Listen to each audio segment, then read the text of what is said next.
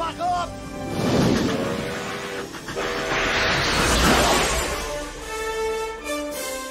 The concept of race has been used to categorize humans based on perceived physical, cultural, and geographic differences.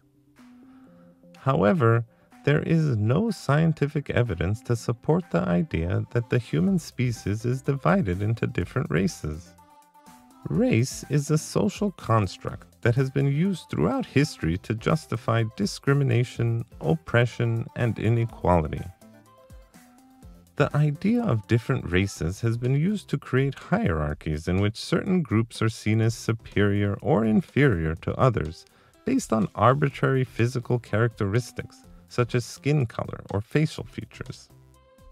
Despite the widespread use of racial categories in society, there is no scientific basis for the concept of race.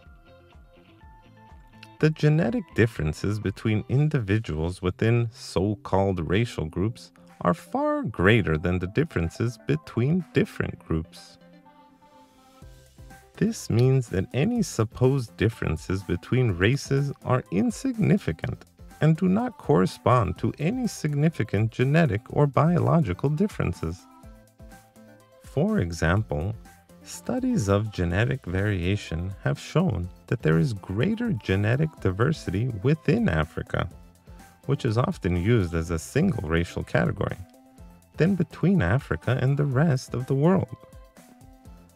This demonstrates that racial categories are not useful for understanding genetic variation or evolution.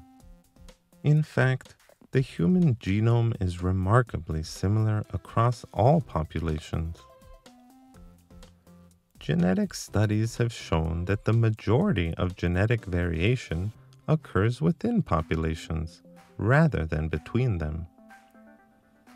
This means that there is more genetic diversity within any given racial category than there is between different categories.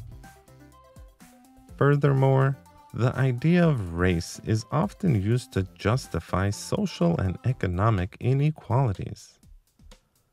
Racial categories have been used to create and maintain power structures that privilege certain groups over others. This has led to systemic racism and discrimination, which have had devastating effects on marginalized communities. It is important to recognize that the idea of race is a social construct that has been used to perpetrate inequality and discrimination. We should strive to dismantle these harmful structures and work towards creating a society that recognizes and values diversity while promoting equality and justice for all.